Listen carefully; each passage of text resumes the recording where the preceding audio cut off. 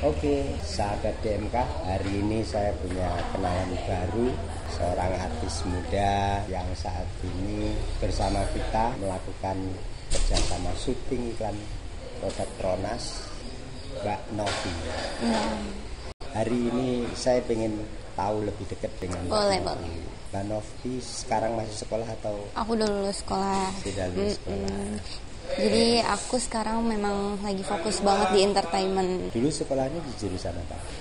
Aku sekolahnya di Bekasi karena aku kan emang tinggal di Bekasi, lahir di Bekasi. Jadi aku sekolahnya di Bekasi. Aku sekolah di SMA Widya Nusantara.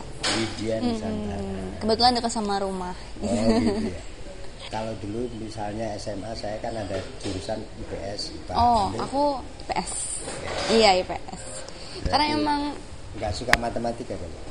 Sebenarnya kalau dibilang nggak suka sih nggak juga ya. Cuma kalau aku orangnya nggak mau ribut dan pusing aja gitu. Jadi kalau misalkan aku sebenarnya kan kepilihnya di IPA. Cuma aku pindah jurusan ke IPS karena menurut aku kayaknya aku lebih suka bersosialisasi dibanding aku harus menghitung-hitung.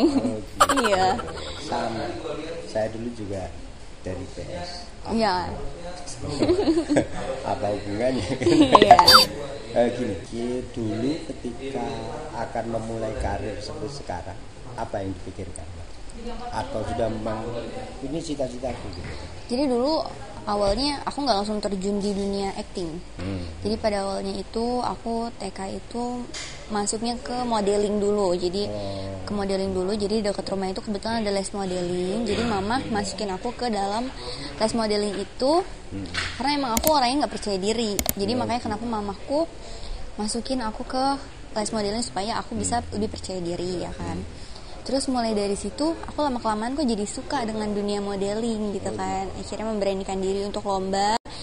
Terus alhamdulillah juara juara juara sampai eh aku tuh sekolah model itu 8 tahun atau 9 tahun sampai dapat ijazah baru aku bisa berani buat ngajar modeling. Oh, gitu. Mm-mm. Oh, sudah ngajar juga. Udah ngajar juga.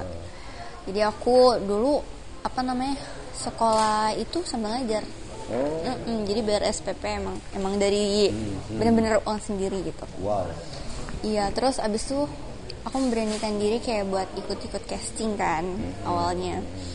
Tapi aku jujur aja lebih banyak ikut casting iklan, casting iklan karena karena menurut aku kan lebih banyak casting iklan dulu aku taunya kan. Iya. Terus pertama kali aku dapet iklan itu tahun 2017.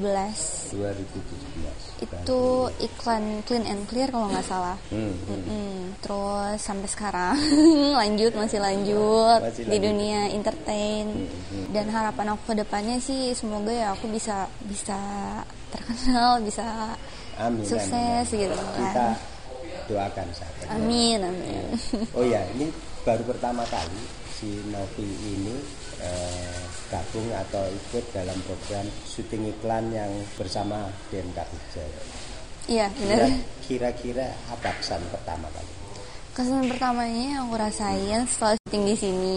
Kan kebetulan nih aku udah kelar ya jadi Iya. aku bisa cerita kalau hari ini tuh bener-bener menyenangkan banget. Terus orang-orang tim-timnya yang yang ada di sini semuanya humble ramah dan eh, kalau misalkan kita lagi kerja nih mereka berusaha kayak nggak terlalu serius-serius banget maksudnya ditambahin sama bercanda-bercandaan supaya kitanya talentnya itu nggak terlalu kaku gitu kan ya so far sih aku suka sih kerja sama di tim ini gitu semoga nextnya aku bisa kerja sama lagi amin Amin. Masih banyak proyek-proyek iklan DMK yang butuhkan Novi kayaknya. Boleh tuh. Boleh Tapi ya mudah-mudahan kita akan bersama lagi pada situasi yang atau produk yang berbeda untuk ya layanan yang berbeda. amin Begini, Novi, ketika seseorang menginginkan sesuatu pasti dia punya gambar, ya maksudnya punya apa yang ingin di punya mimpi maksud saya. ya Sebenarnya kalau mimpi kamu itu apa? Kalau aku sih lebih ke target ya Hmm, jadi eh, mimpi aku itu aku bahagiain orang tua itu udah pasti. Ya. Eh, terus yang kedua aku emang pengen punya prestasi sendiri gitu loh. Hmm.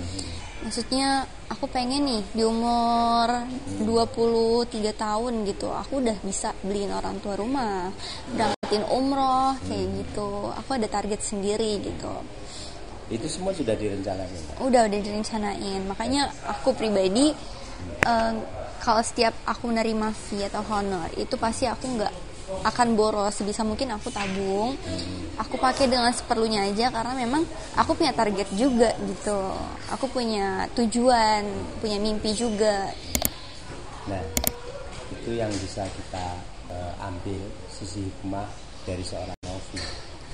Jadi semua orang sukses itu pasti punya mimpi. betul banget. Dan semua orang sukses pasti mencatat mimpinya untuk memenuhi targetnya. bener banget Dan pada endingnya adalah ketika rencana itu berhasil atau tidak itu menjadi keputusan Tuhan. iya betul yang penting kita berusaha aja lah ya sebaik mungkin ya Terakhir nih Mas, kira-kira apa yang masih belum diwujudkan dari mimpi-mimpi itu? Iya, yang masih belum bisa diwujudkan mungkin kayak rumah ya. Aku pengen beliin mama rumah gitu. Beliin orang tua rumah lah istilahnya. Itu aku belum bisa wujudin, tapi aku perlahan udah mulai nabung. Udah mulai nabung, jadi mungkin tinggal beberapa beberapa lagi mungkin udah bisa tercapai gitu. Amin. Amin, amin. amin. Terus kemudian eh, ketika kamu eh, sekarang dalam perjalanan itu kan kadang butuh teman. Hmm, Nah, teman terdekatmu itu siapa? Ibumu atau keluargamu atau orang lain atau pacarmu lah? Kalau menurut aku ibuku sih karena setiap aku ada masalah ibuku selalu ada di sampingku bahkan beliau kasih aku masukan terus gitu kan. Pokoknya aku juga sangat bersyukur dikasih keluarga yang istilahnya dia sangat-sangat peduli dan support aku banget dalam dunia entertain. Meskipun aku tahu kadang keluarga aku kan juga ada yang nggak terlalu pro tapi dia berusaha sebisa mungkin di depan aku dia baik-baik aja gitu pokoknya itu setiap aku ada masalah keluarga aku selalu ada buat aku gitu sih Ya, kayak keluarga keluarga cemara. keluarga adalah is the best. iya karena keluarga itu sebenarnya rumah rumah Iya. yang paling nyaman ya Nah, harapanmu besok ketika kamu sudah mencapai sesuatu terus kemudian kamu akan berkeluarga, kamu punya model nggak? Seperti apa sebuah keluarga? sebuah keluarga. Aku sih ada planning untuk nikah itu di umur 25 tapi jujur ya memang aku ngeliat teman-temanku yang Kan udah nikah. iya. Yang udah nikah tuh kayak wah enak nggak ya nikah? Cuma aku balik lagi di sini aku mikirnya aku berkarir aja dulu. Hmm, istilahnya kalau misalkan aku dari dari pribadi diri aku sendiri aku belum siap untuk eh, berumah tangga atau aku belum siap untuk nikah ya mending nggak usah daripada nanti terjadi hal-hal yang tidak diinginkan gitu di pernikahan. Berarti kalau dengar dari jawaban sudah ada. Teman teman dekat sih ya pasti ada sih. Cuma ya aku lebih dibawa enjoy dan santai aja karena aku mikir ah kalau kalau jodoh nggak ke mana sih? Gitu. Iya. dan dia juga mendukung karir kamu sekarang. Iya, dia mendukung, sangat mendukung. Selagi itu masih positif, itu masih wajar dan tidak tidak merugikan diri sendiri ataupun keluarga aku, dia sangat sangat mendukung. Sahabat DMK, begitulah tadi ngobrol santai kami dengan salah satu artis yang ikut dalam proses syuting iklan Pronas kali ini dan dia yang paling cantik di sini.